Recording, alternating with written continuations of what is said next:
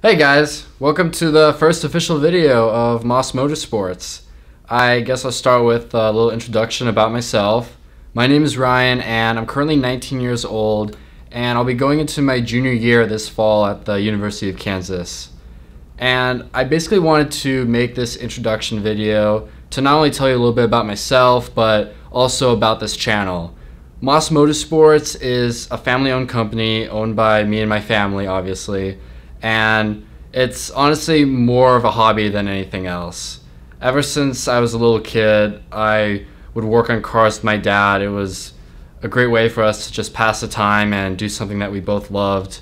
We've worked on restoring uh, Camaros in the past, Corvettes, and we even have modern performance vehicles as well. My dad drives a GTR right now, and I drive an FRS, which is quite a bit slower, but you know, once you get a turbo in that thing, it should hopefully get be a bit faster. Um, but yeah, basically the overall goal of this channel for me personally is I just want to meet a lot of other people that share the same passion about cars that I do.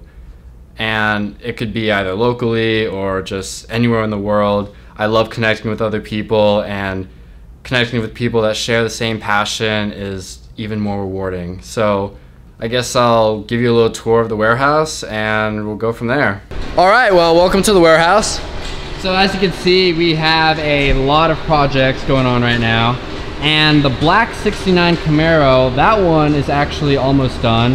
It's got a few more things to work on. I'll show you that in a minute, but it's getting there.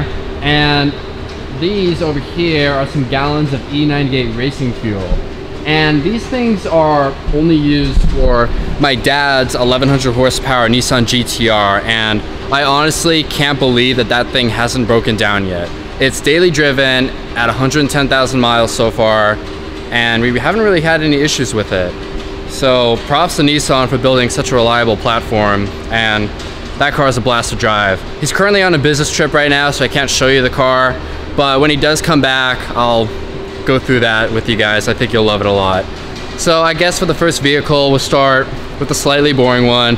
Um, it's a Ford F-350 Dually and it's a 2008 car so with that comes a 2008 interior nothing special there but the rear end does have um, I, I believe this is aluminum and it's pretty spacious for a truck I mean considering how fat the rear end is you can fit a lot of stuff back here and these uh, fence posts I don't know what else to call them can be fit into these ridges here and it just makes transporting stuff so easy. Like we can fit all three of our motorcycles back here, no problem. And it just makes it really easy to load things and unload things, especially when you're moving. So, all right, I guess I'll start with the Pontiac Firebird for our list of classics. So this car actually runs, the last time we drove it, and it actually worked pretty well. It does need a few things to be replaced on it, but for the most part, it actually runs decent and you know, it won't take too long to get this thing restored. So I'll show you the massive engine. It's uh, 632 V8. I think it's 10.3 liters. If I get this wrong, I'll probably get roasted for it, but doing my best. Um, so yeah, it does need a bit of work though, especially the interior, which I'll show you guys in here.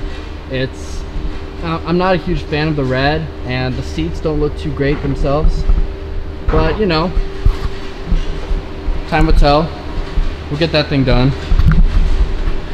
Alright, so for the second one, I'll show you guys this Dodge Ram, and this thing actually does run, and it doesn't need that much work done to it, and we're honestly not gonna do a full restoration like we normally do for this car it's, you know, we're just gonna make sure it's reliable, it runs properly, and then we're just gonna sell it. We don't really have that big of an interest in really diving deep into the restoration of this one, like we do with some of the other classics.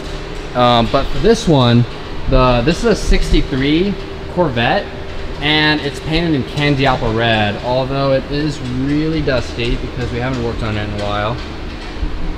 But that happens. It still has these things on it from when we moved from California. We we used to live in California and when we moved we moved all the cars with us. Most of the cars that were with us when we moved from California are still with us right now, except for like one or two that we were able to sell and get fully restored. But this Corvette actually does need a lot of work still, obviously. I remember putting in the Dynamat with my friend Nick, and that was really fun, but that was, gee, back in like middle school, so yeah, it's it's been sitting for a while, but you know, we'll we'll get that taken care of. I want to work on this one right after we get done with the black Cor black Camaro, not Corvette. Um, but we'll see what happens. So that's that. And that car over there, that is another Camaro, I believe, that we got for like, gee, 600 bucks or something. And obviously it does need some work. I can't really take you guys back there right now. I'm kind of blocked off, but yeah, so we love Camaros around here. And this car, this is a Dodge, and I, I, forgot what year it is. I'm sure you guys can probably figure it out just from looking at it. But, you know, paint's not too bright on this one. It's uh, a bit worn out, but you know, we'll replace it. We're thinking uh, maybe like purple or like a lime green. We'll see with that one. I'll take you over here to the back so you can get a better view of it. All right, so uh, you know we got the classic right there written on the car, which uh, you know it's nice, but we'll get that replaced. um, and then this one, the last one I'm showing you guys, this is a personal favorite of mine, although it does need a lot of work. It's a 59 Corvette, and I think we're gonna make it black. Yeah, we're gonna make it like a glossy black. That's what we plan on doing with the overall color with, with chrome accents, obviously. And yeah, I think, I think it'll look pretty cool. So that, that'll be a long time from now, but we'll get it done. And so for this one, it's a 69 Camaro SS. Oh, I just hit the top. All right. So it needs a lot of work still. And I could probably lower it for you guys. Just so you can see the interior. I'll just do that later. But yeah, it, uh, has a lot done to it so far. Basically restoring this thing completely. I remember painting like the parts back there, the body of this car painting the entire underbody of this thing. Putting in all brand new internals.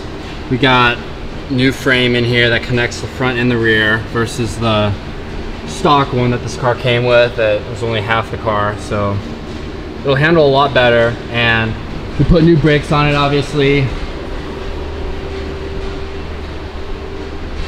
Got some Wilwood brakes on there. And yeah, honestly, I'm really happy with how this car is turning out so far. And this will be the first car that you guys see in our channel that gets restored completely. So I'm excited to be sharing that with you guys. And yeah, it does need a lot of work, but it's getting there. It's getting pretty close. So yeah, feel pretty good about that. Um, oh, I'll bring in my car and I'll show you guys that right now also. I drive an FRS and it's a 2013 in white. It's nothing super special yet, but I want to do a turbo build on it. Wide body kit, obviously. I do have a big wing coming in, so I do have to order that turbo pretty soon because if I'm driving around with a huge wing, it's gonna look a little weird, but you know, it is what it is. Uh, I'll show you guys that in a minute. Let me just pull it in real quick.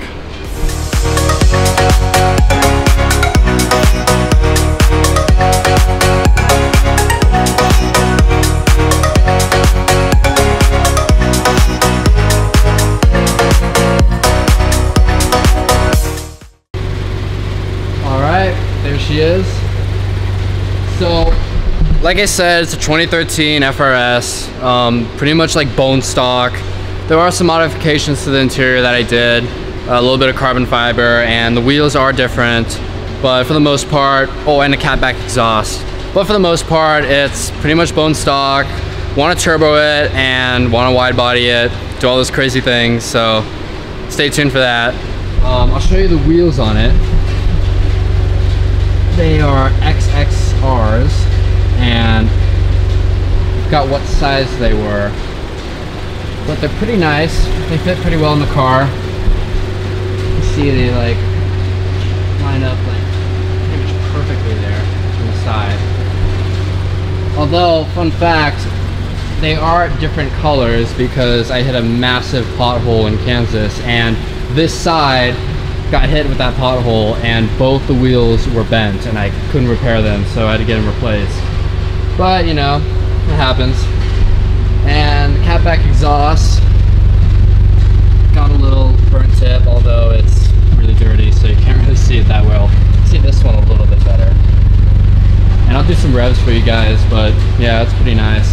Oh, and a little backup camera right there so that helps although it's a small car anyway I don't really need it.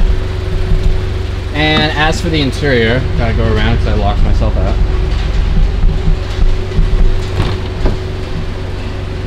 It has all the basic stuff pretty much. We have, uh, this is actually real carbon fiber. It was a full replacement, not one of those 3M adhesive ones that a lot of people put on. It's a uh, full replacement and it's honestly really nice. It's a glossy carbon and I have the same thing on the doors, door handles and on the dash as well. Got the air conditioner on full blast in here because it's just so hot outside. Thing's been sitting out there and I like almost burned my hand just touching the shift knob. And the wheel is honestly my favorite part about the car. The carbon on it is just amazing. And the shifter, I like that too. I gotta adjust that R though. It's a little crooked. and this is actually, I got this from Bulletproof Automotive, their website and I don't think they sell it anymore, but it's a armrest they made for the FRS. And it's held up pretty well, I like it a lot. So, yeah, that's pretty much the interior of this car. And I do have a rear detector mounted, which is very convenient, and a black view camera, so if anyone decides to you know, get into an accident with me, I at least have some proof. 18 year olds, or well, I'm 19 now, don't really have the best track record for driving. So if there is an accident, they're usually blamed first. It's just kind of nice to have that in the car. Um, never had to really use it though. Oh, and I also have some different lights in the front. I think they're Winjets. Got them from FT86 Speed Factory. They're pretty nice. A lot better than the stock ones. so yeah, I guess I'll uh, do a little rev for you guys.